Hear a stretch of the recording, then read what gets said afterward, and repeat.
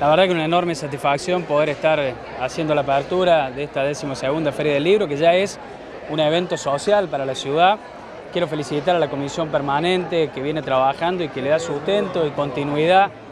donde está organizado no solamente por el municipio de Río Cuarto, por el municipio de Higueras, de Olver, por la Universidad Nacional, por la Asociación de Bibliotecas, por la Sociedad de Escritores, eh, por las organizaciones que hacen de este evento algo que ya es una tradición en Río Cuarto,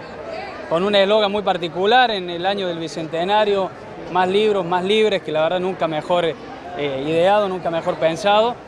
Y nosotros fomentando a partir de hoy una actividad que va a durar siete días, que va a tener más de 150 actividades culturales, talleres de narración, de circo, eventos y espectáculos, eh, que va a contar con la impronta de danzas. Y, y siempre lo que yo decía recién en la apertura, estas son las políticas de Estado que idearon otros intendentes, que ejecutaron también luego otros y que nosotros como políticas trascendentes y que trascienden a los gobiernos la vamos a mantener y vamos a fortalecerla. Lo más importante de estos eventos es además la presencia de más de 5.000 alumnos de todos los niveles, iniciales, medios y también este, del secundario, que nos van a dar la posibilidad de, nutrir este, este, evento, esta feria,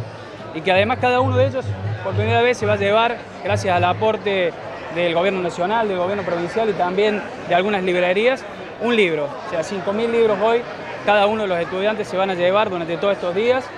y la verdad que para nosotros es una satisfacción